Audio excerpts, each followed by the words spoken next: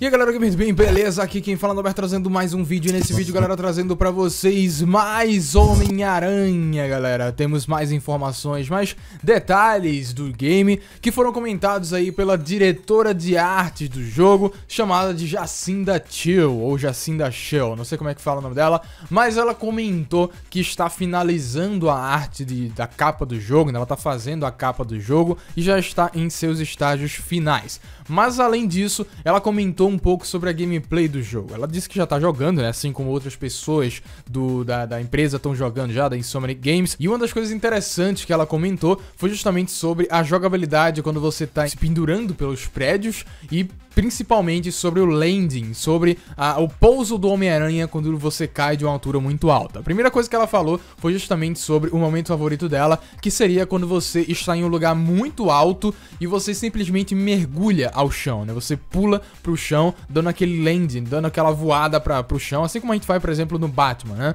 Ela disse que esse momento é de tirar o fôlego, porque quando você salta, você vê todo o, o ambiente se aproximando e no último momento, antes de você tocar no chão, você solta a sua teia e começa a se balançar nos prédios. Isso para ela é um dos momentos mais incríveis do jogo, porque dá um frio na barriga. Isso realmente parece ser bem legal, né? Isso já é muito foda de se fazer no Batman, quando você tá em local alto. Imagina agora no Homem-Aranha, né, cara? Que já é um personagem que a gente já faz isso há bastante tempo, só que com gráficos e todos os efeitos para você sentir como se estivesse caindo lá do alto. Realmente deve ser muito foda. E esse é um dos momentos favoritos dela. Só que uma outra coisa que muita gente ficou meia receiosa foi sobre o pouso do Homem-Aranha quando você cai de um local alto. Ela comentou que é meio boring, né, quando você cai de um lugar alto, porque simplesmente não existe nada de diferente, não existe nenhum impacto, não existe nada. Ele simplesmente cai no chão e pronto tá? Você cai normalmente no chão sem um pouso legal, ou você não toma dano. Acho que é por conta que justamente eles estão produzindo o jogo ainda, eles não finalizaram o game,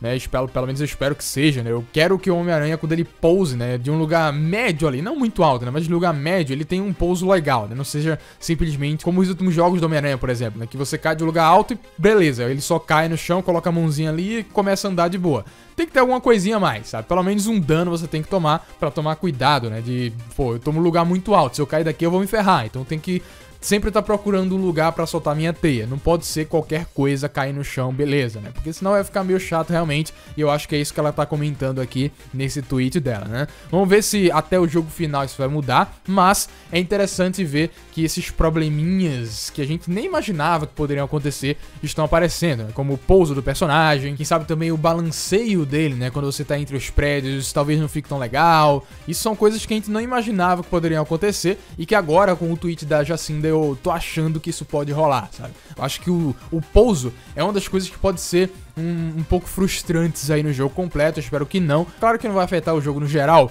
mas é uma coisa que me, iria me incomodar bastante, né? Um personagem como o Homem-Aranha simplesmente pousar de lugar alto, não tomar dano, não tem nenhum movimento legal, acho que ficaria um pouco chato, né? Principalmente se tivesse alguma animação automática, por exemplo, de quando você tá caindo em lugar muito alto, ele solta teia automático para ele não se machucar. Eu não quero isso, tá? Assim como acontece, por exemplo, com Batman, né? Você tá caindo em lugar muito alto, ele abre a capa e pousa para não tomar dano. Eu espero que isso não aconteça no Homem-Aranha, eu espero que role alguma punição pro jogador se ele não tomar cuidado ao cair de lugar alto, né? Então, basicamente é isso. Esses são, esses são os novos detalhes aí que foram comentados pela Jacinda. Qualquer outra informação sobre o Homem-Aranha eu trago aqui no canal para vocês, beleza? Qualquer outra informação sobre a capa do jogo, data de lançamento, se sair algum tweet de algum produtor comentando mais sobre o game, eu trago aqui no canal com certeza para vocês, então fiquem ligados. E claro, não esquece de comentar o que, que você acha desse pouso do Homem-Aranha e se você acha que deve ter algum outro recurso que pode ser prejudicado também no jogo final, assim como foi o caso do pouso do Homem-Aranha no jogo, beleza? Então é isso, gente. Vou ficando por aqui. Fiquem com Deus. Até o próximo vídeo. Um abraço e fui.